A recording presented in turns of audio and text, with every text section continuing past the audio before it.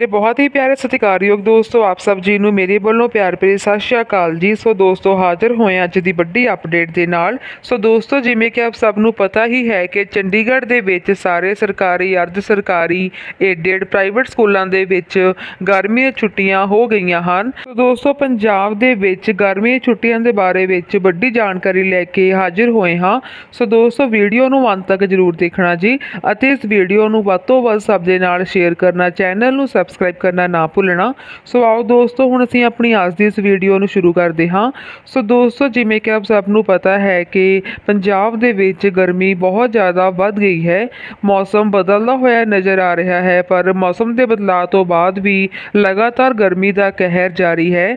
ਸੋ ਦੋਸਤੋ, ਚੰਡੀਗੜ੍ਹ ਪ੍ਰਸ਼ਾਸਨ ਦੇ ਵੱਲੋਂ ਸਾਰੇ ਸਕੂਲਾਂ ਨੂੰ ਛੁੱਟੀਆਂ ਕੀਤੀਆਂ ਗਈਆਂ ਹਨ। ਇੰਨੀ ਗਰਮੀ ਦੇ ਵਿੱਚ ਬੱਚਿਆਂ ਦਾ ਸਕੂਲ ਜਾਣਾ ਅਤੇ ਸਕੂਲ ਤੋਂ ਵਾਪਸ ਆਉਣਾ ਬਹੁਤ ਹੀ ਔਖਾ ਹੈ। ਗਰਮੀ ਦੇ ਕਾਰਨ ਬੱਚਿਆਂ ਦੀ ਸਿਹਤ ਦੇ ਉੱਪਰ ਬਹੁਤ ਹੀ ਮਾੜਾ ਪ੍ਰਭਾਵ ਪੈ ਰਿਹਾ ਹੈ ਅਤੇ ਇੱਕ ਜ਼ਿਲ੍ਹੇ ਦੇ ਵਿੱਚ ਗਰਮੀ ਦੇ ਕਾਰਨ ਇੱਕ ਬੱਚੇ ਦੀ ਮੌਤ ਵੀ ਹੋ ਗਈ ਹੈ। ਸੋ ਦੋਸਤੋ, ਪਿਛਲੇ ਸਾਲ ਪੰਜਾਬ ਸਰਕਾਰ ਦੇ ਵੱਲੋਂ 25 ਮਈ ਤੋਂ ਗਰਮੀ ਦੀ ਛੁੱਟੀਆਂ ਕਰ ਦਿੱਤੀਆਂ ਗਈਆਂ ਸਨ। ਸੋ ਵਧਦੀ ਹੋਈ ਗਰਮੀ ਨੂੰ ਦੇਖਦਿਆਂ ਹੋਇਆਂ ਅਸੀਂ ਪੰਜਾਬ ਸਰਕਾਰ ਤੋਂ ਮੰਗ ਕਰਦੇ ਹਾਂ ਕਿ ਬੱਚਿਆਂ ਦੀ ਸਿਹਤ ਨੂੰ ਧਿਆਨ ਵਿੱਚ ਰੱਖਦਿਆਂ ਹੋਇਆਂ ਸਾਰੇ ਸਕੂਲਾਂ ਦੇ ਵਿੱਚ ਜਲਦੀ ਤੋਂ ਜਲਦੀ ਛੁੱਟੀਆਂ ਕੀਤੀਆਂ ਜਾਣ, ਕਿਉਂਕਿ ਗਰਮੀ ਵੱਧਦੇ ਕਾਰਨ ਬੱਚਿਆਂ ਦੀ ਸਿਹਤ ਦੇ ਉੱਪਰ ਬਹੁਤ ਹੀ ਮਾੜਾ ਪ੍ਰਭਾਵ ਪੈ ਰਿਹਾ ਹੈ ਅਤੇ ਸਾਰੇ ਬੱਚੇ ਇਹ ਮੰਗ ਵੀ ਕਰ ਰਹੇ ਹਨ ਕਿ ਉਹਨਾਂ ਨੂੰ ਜਲਦੀ ਤੋਂ ਜਲਦੀ ਗਰਮੀ ਛੁੱਟੀਆਂ ਕੀਤੀਆਂ ਜਾਣ।